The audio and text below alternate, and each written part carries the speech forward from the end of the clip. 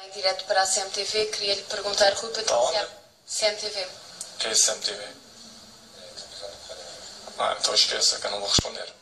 sobre o jogo com a Dinamarca Não vale a pena. Então passamos à próxima pergunta. Boa tarde.